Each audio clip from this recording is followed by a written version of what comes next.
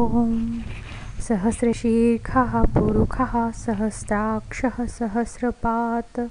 स भूमिं सर्वतः स्मृत्वा तिष्ठदशाङ्गुलं पुरुख एवेदग्ं सर्वं यद्भूतं यच्च भाव्यम् उतामृतत्वशेषानो जदन्नेनातिरोहति।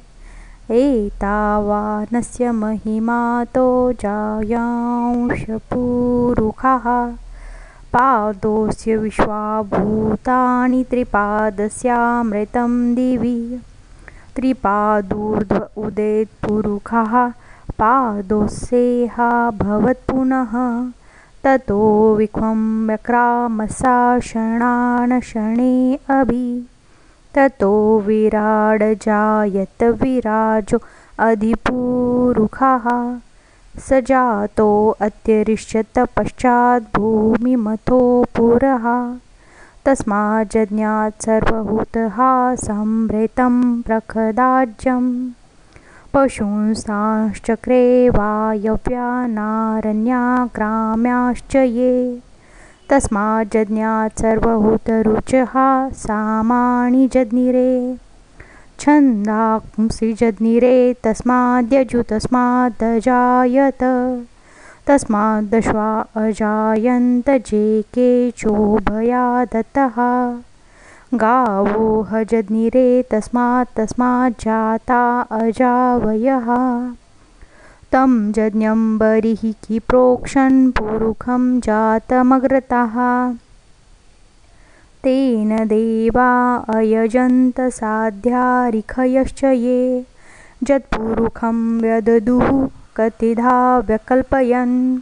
मुखं किमस्यासीत् किं बाहु किमुरुपादा उच्येते। ब्राह्मणोऽस्य मुखमासीत् बाहु राजन्यः कृतः। ऊरु तदस्य च द्वेषः पद्भ्यां शूद्रो अजायत।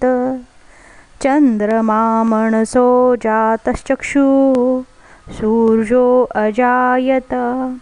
श्रोत्राद्वायुष्यप्राणश्च मुखादग्निरजायत।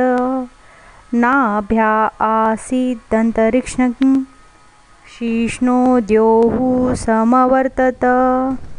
पद्भ्यां भूमिर्दिशः श्रोत्रा तथा लोकान्न कल्पयन्। यत्पुरुखेन हविखा देवा यज्ञमतन्वत। वसन्तोऽस्यासीत्ताज्मग्रीष्म इद्महि शरद्धविः।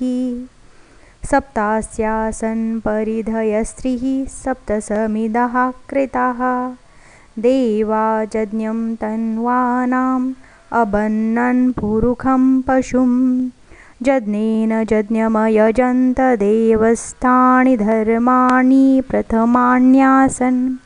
ते हणाकं महिमाणः स चन्द्र यत्र पूर्वे साध्याः सन्ति देवाः। ॐ शान्ति शान्ति शान्तिः